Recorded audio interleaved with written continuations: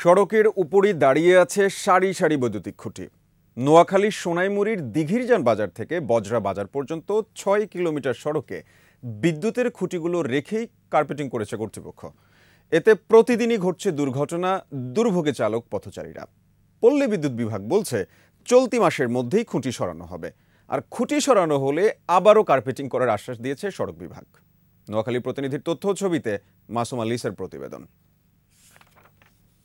সদ্য নির্মাণ করা সড়কের মাঝখানে সারি সারি বিদ্যুতের খুঁটি। এই চিত্র দিঘিরজান বাজার থেকে বজ্রবাজার পর্যন্ত ছয় কিলোমিটার সড়কের। তিন মাসেরও বেশি সময়ে খুঁটি না সরানোয় ব্যস্ততম এ সড়কে ঘটছে দুর্ঘটনা। দুর্ভোগ পোহাতে হচ্ছে শিক্ষার্থী ও পথচারীদের।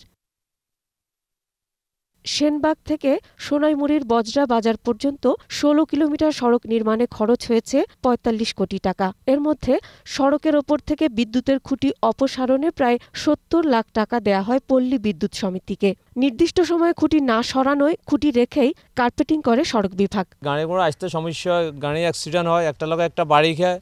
সড়কের বাঁকে বাজারে কিংবা ব্রিজে ওঠানামার স্থানে খুঁটিগুলো দাঁড়িয়ে আছে মাসের পর মাস।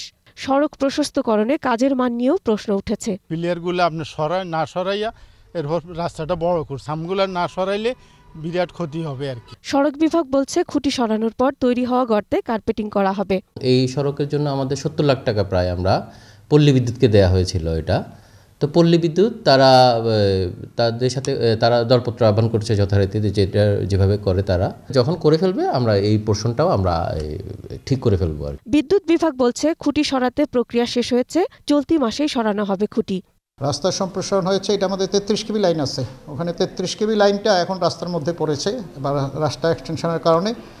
রোশন হাইওয়েতে আমাদেরকে আবেদন করেছে, আমরা প্রাক্কলন দিয়েছি, ইতিমধ্যে তারা টাকাও জমা করেছে। কাজের মান বজায় রেখে দ্রুত খুঁটি সরানোর দাবি যানবাহন চালক ও স্থানীয়দের। মাসুম আলিসা একুশে টেলিভিশন।